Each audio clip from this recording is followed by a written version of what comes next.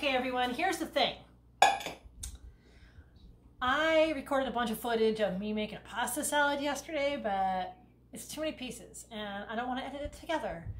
And so I probably won't.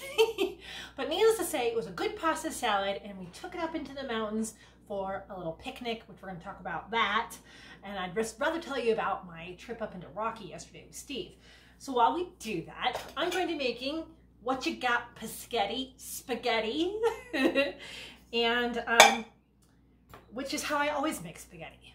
I don't know if there is truly a recipe for spaghetti. It's pretty much what you got.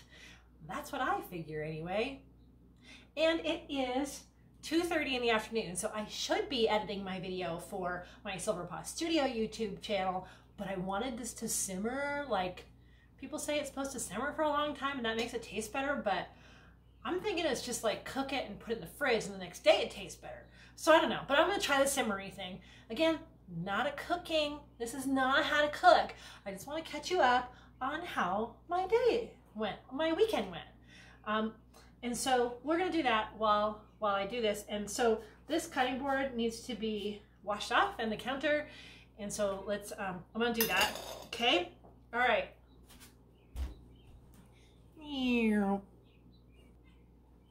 All right. Ah, it's washed off. Now, I call this what you got spaghetti because it's just what I have.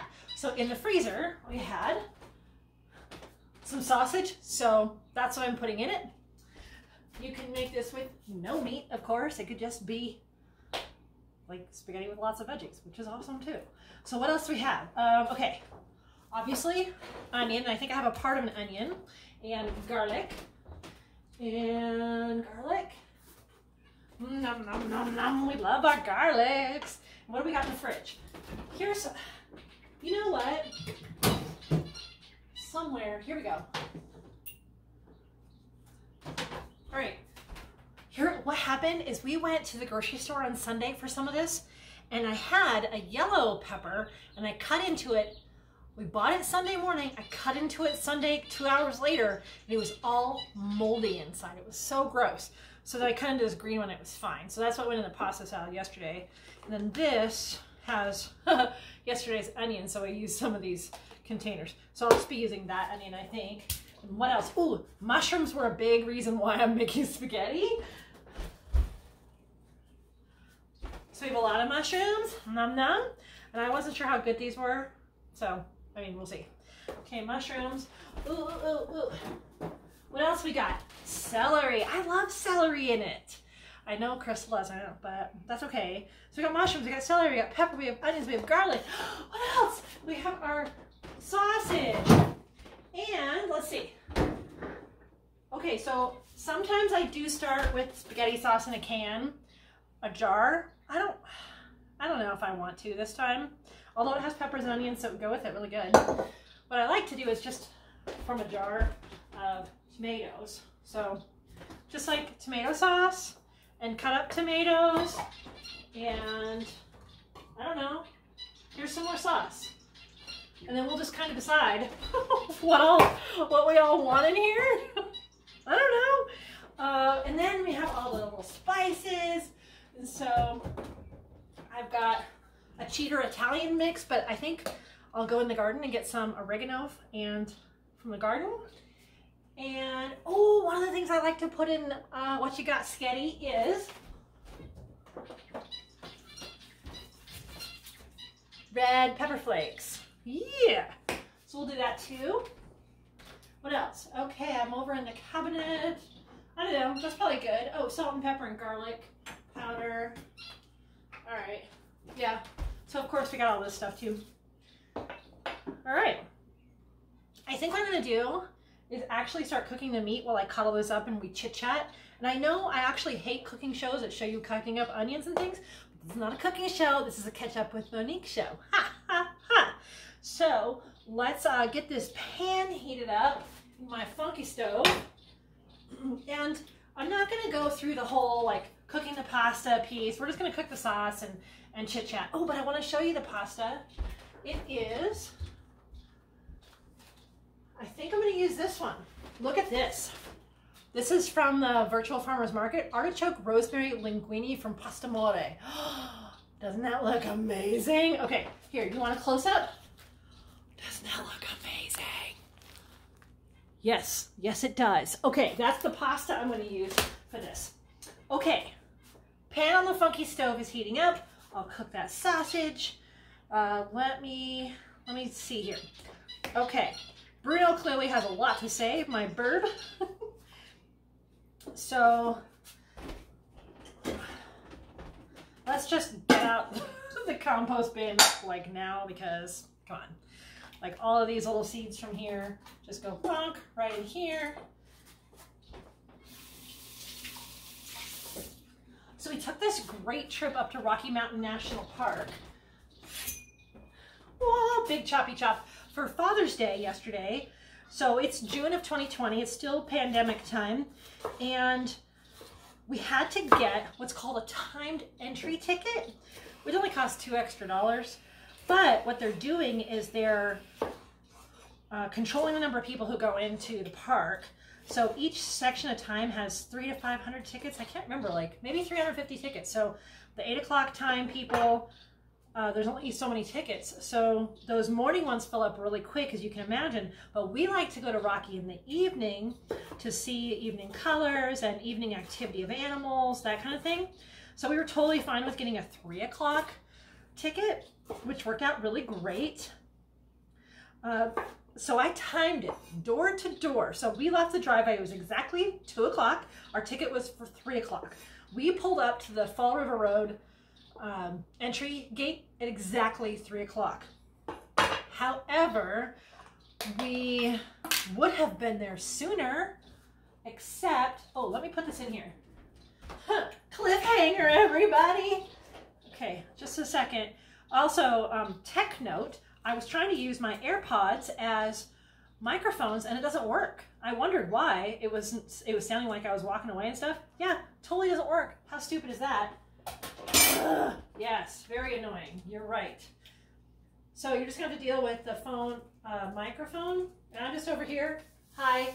Putting a, I just don't feel like moving my camera. It's all propped up on a chair funky. Okay. All the meat is going into the pan. Okay. Bam. Boop, boop, boop. So that's just going to cook a little bit while we chit chat.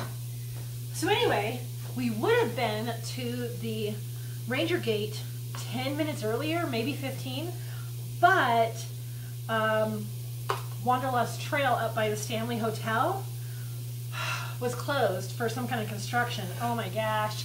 And going through town is always a big pain. It's kind of like, picture a little Washington coast town. Uh, that's kind of what I picture when I go through Estes Park. And just all these like t-shirt shops and ice cream stores and pulled taffy and pizza stores. But it was crawling with people. I couldn't believe it. I thought sunday afternoon it would kind of clear out. Typically people are going home on a sunday afternoon. Oh no. Lots and lots and lots of people. Woo! Anyway so uh, we get the time ticket and you could um, a day pass to rocky is $25 but at the gate, you can apply that $25 to another pass, an annual pass, and Steve qualifies for the senior pass. So we got him a senior interagency lifetime pass for a total of $80. And as long as I'm on the car, and he's in the car with me, like I'm in the car, whoever's in the car, we get into like any federal park for the rest of his life on this pass. what? for $80. He actually told the person at the gate, uh, you're undercharging for this for sure. Oh my gosh. So uh, that was pretty cool. So now we can go to Rocky anytime ever. you know, awesome. And the time ticket worked out great. Probably because it was the three o'clock, the afternoon one the line wasn't too long, and we did see them turn someone away. You can't get those at the kiosk. You have to get them ahead of time online. And none of the park ranger stations are open. So the visitor centers are all closed. So you have to get this done online. You don't have to print it. It can be on your phone. That's fine. But it still has to be done ahead of time. So I feel bad for the people that don't ever look into that. Like clearly, if you're if you don't know that there's changes due to the pandemic, you're living under a freaking rock. As our um, what did our governor say? He says we might be done with COVID, but it's not done with us. True story, everybody. It is not done with us. So, ugh, you know, they they figured it out for now though. But what was really cool is there's no guarantee of anything you're ever going to see in the park, like as far as wildlife. But we saw some awesome wildlife. Uh, so we saw, as soon as we went in, there was one bighorn by Sheep Lakes. Kind of cliche, I know, but they're there.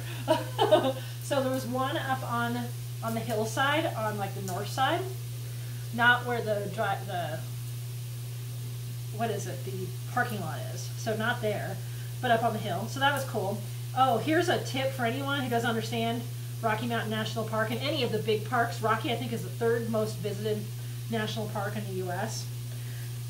The best way to find wildlife is to look for other cars. so if there's cars pulled over in a spot and people are kind of looking in the right in one direction, there's wildlife there. That's how you find wildlife in Rocky. Uh oh, I better put some some oil in here, maybe. Huh? Okay. Here you go. It's sticking a little bit, everyone. Ah, we can't have that. Okay. So anyway, as soon as we get into the park, we see bighorn, very cool. And we have that super long lens now. So I had the 200, we, we traded around. So there was the 70 to 200 millimeter and the uh, 200 to 600. That's a beast. But you can hand hold it, it's super fast. Oh my gosh. Which is great because I hate tripods so much. uh, so anyway, we get in there and we go through there. What else did we do? Oh, we, every time, every time I drop something. Oh my gosh, where is it? Okay. Okay, I haven't peeled it yet, it's fine. So, we wanted to get over to the west slope because I'd seen so many people talk about moose. So we hightailed it over to the west slope. We tried not to, to stop too much on this side. And we hadn't seen um, elk yet. We were so surprised. Like, as soon as it was out of my mouth, gosh, I haven't seen any elk. I didn't even finish the sentence, and there they were at the uh, at a campground. That a lot of the campgrounds are completely closed right now.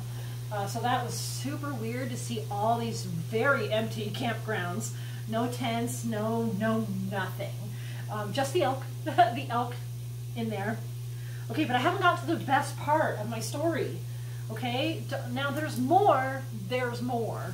Okay, hold on. I need to stir. I know this video is getting long. That's what happens. Chitty chat, chitty chat. Um, so, oh, my garlic press is in the wash. Let's see what happened next. Okay, we're going over to the west slope. Okay, on the way, I believe it was on the way there, I looked over. There's some, there's a few of these, not very many, tiny little pullouts with a couple of picnic tables. You can fit, I don't know, three cars in there, four. And I did a double take. I thought I saw a dog sitting there. And then I thought, that wasn't a dog. And I thought, oh, that could be a coyote or it could have been a fox. It looked kind of big to be a fox. I said, Steve, turn around, turn around right now. Go back, hurry. Wherever you can turn around. Of course, it's mountain roads. And so we couldn't turn around for several more minutes. We had to find a spot two couple miles up the road and turn around. By the time we got back, there was a van there. And the van started pulling away. Sure as shit, it was a fox, everybody. A fox. The most hysterical thing, though, hold on, hold on. I gotta stir. I gotta stir. Okay.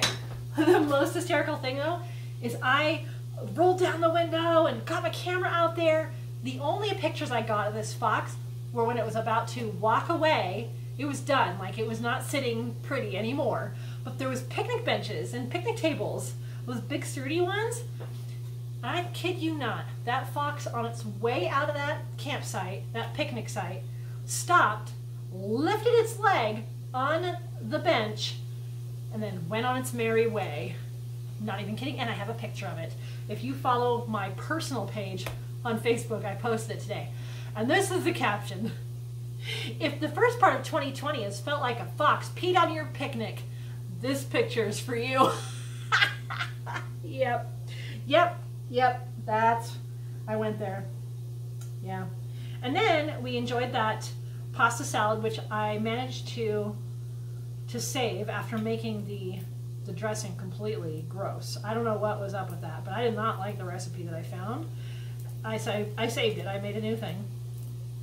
And um, we had a nice picnic lunch at Grand Lake.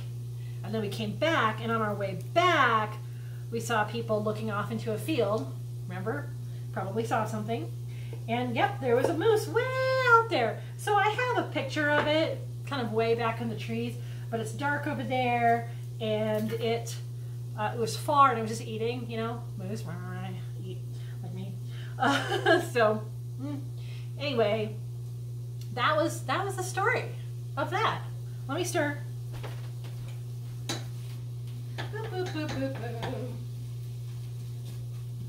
And so there you go. Now you're all caught up. I hope everyone had a great Father's Day. Hope everyone had a nice first day of the summer. It's pretty great here. I'm going to choppity chop up the rest of this off camera and then I'll show you it all simmering away in the pot. Okay. Good to see you. And what should we use today? Let's use garlic. Mm, in a second, you're to see it all simmering so nicely. Ooh. Ah. All right, recap. We got sausage. We have onions, garlic, celery, green bell pepper, mushrooms. That's what we got. And I'm just to put in diced tomatoes, just the whole thing. I don't care. And tomato sauce. So here's the thing I was thinking about while I was uh, sauteing this. There's this song that all the kids sang a few years ago called What Did the Fox Say? yeah, that was fitting for my foray into Rocky. Fun fact, that's the first time I'd ever seen a fox in Rocky. I'd seen him down here, but never up in the park. So I consider that uh, pretty rare. All right, so yeah, I'm just gonna put in the Italian seasoning, the garlic powder, salt and pepper, and red pepper flakes. And that's it. And then um, probably some more sauce. I have one more jar of sauce. And it's just to cook. All right. Good to see you all. And I don't know what I'm going to show you next. You just never know. Okay? See you later, friends and fam. Bye. Mmm,